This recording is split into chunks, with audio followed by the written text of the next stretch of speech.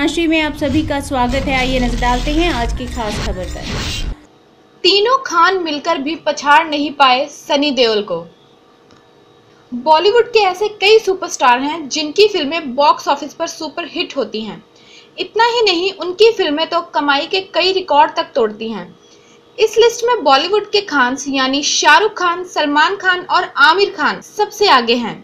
इनकी फ़िल्में रिलीज़ होने का मतलब होता है ब्लॉकबस्टर होना। लेकिन इन तीनों खानों में इतना दम आज तक नहीं आ पाया कि ये तीनों खान मिलकर सनी देओल की एक फ़िल्म का रिकॉर्ड तोड़ सके। सनी देओल ने अपने अभिनय कैरियर के दौरान कई सुपरहिट फिल्म्स दी हैं। उन्होंने तो ब्लॉकबस्टर फ़िल्में भी दी हैं, लेकिन आज तक बॉलीवुड का कोई भी एक्टर उनकी एक फ़िल्म का रिकॉर्ड नहीं तोड़ पाया है। जी हाँ हम बात कर रहे हैं सनी देओल की फ़िल्म गदर की। इसका रिकॉर्ड कोई नहीं तोड़ पाया है। आपको बता दें कि 2016 में आई आमिर खान की फ़िल्म दंगल ने दुनिया भर में 2000 करोड़ की कमाई की थी, लेकिन इसके बावजूद सनी देओल की गदर का रिकॉर्ड नहीं तोड़ पाई थी। वहीं दबंग सलमान खान और किंग शाहरुख खान अपनी फ़िल्में सुपरहिट कराने का दम तो रखते हैं, लेकिन इस मामले में सनी देओल से पीछे रह गए। इन दोनों की फ़िल्म का रिकॉर्ड सनी देओल की गदर से काफ़ी दूर है। साल 2001 में आई सनी देओल की गदर ने उस वक्त काफ़ी अच्छी कमाई की थी।